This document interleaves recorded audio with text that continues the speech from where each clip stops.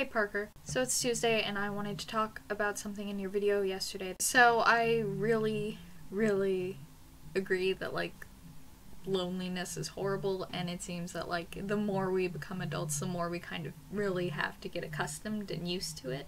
It's also really kind of a lost art to be alone. And I know that that sounds so cliche and it's so annoying and I can't stand when like adults are like, you know, all these youths nowadays they're attached to their cell phones 24/7. They can't hold a conversation. But there really is sort of a forgetting about how being alone is okay. Parker, if you're anything like me and the loneliness does get to be too much, I highly, highly, highly recommend journaling because it can really be a good way to get it all out once you get over the initial like awkwardness of weirdness and it's nice to just you know sometimes even just like completely awkwardly write about your whole day in this journal for example this is my current notebook i got it from my lovely college bowie state i actually have a long series of journals that people have gift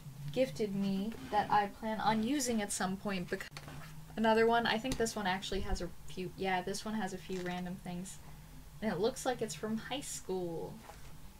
Oof.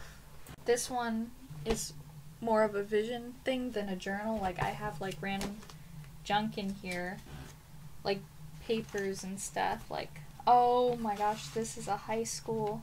This was from high school. We're gonna go down Men- Mem- Memory Lane. Ooh. So this was a quarter three report card in my senior year. And I had three D's. Three D's. Three C's. And two A's. Senioritis was a real thing, Parker.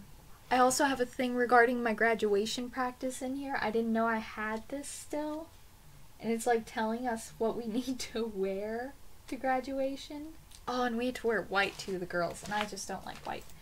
I also have an outline of a story, focus, fo- okay, yeah, and I never got around to writing it, and I don't know if I ever will, but it was fun to like note about it and kind of world build. It was about time travel, but then I decided that time travel was kind of beyond my capabilities as a writer. Another journal, and this one's empty, I'm sure. No, this one has one, two entries.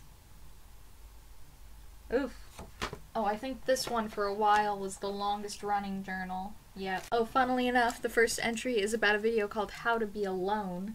And that's actually a really like kind of uplifting video and I I'm going to link it in the description and that kind of like helped me be okay with being alone and kind of see like it in a romanticized light, which really helped. Their journal, I think this one was a Christmas gift.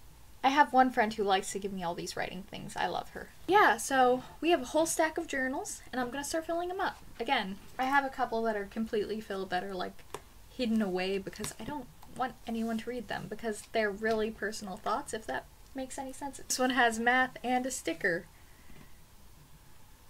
from the place where I get all my body jewelry.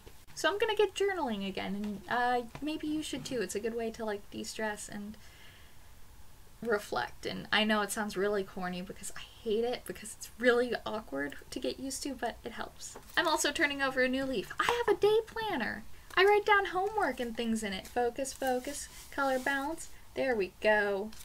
And it it really actually does help. I think I'm going to journal on the days when I don't have a lot and I'm going to like cuz like I have things in here all the way to semesters end I think to like finals week. So that's what's going on with me. This kind of went on a thing. But like seriously, Parker, this video channel is also a pretty good place to vent and just talk and get stuff straight because I know I've used it for that before. And I really do feel comfortable with you as well. I feel com- comfortable expressing myself and considering I only get like maybe 10 views a video sometimes or even two views a video, I feel pretty comfortable talking just to myself on here because it's not like an, an extremely public place and it's not like everyone I know ever watches these. It's not like I go on Facebook and make a passive aggressive post. I'm kind of swamped with homework at the moment too, but I it really does help to plan my days. But I'll see you tomorrow, Parker. I really hope you're feeling better. I'll see you tomorrow. DFTBA, stay super.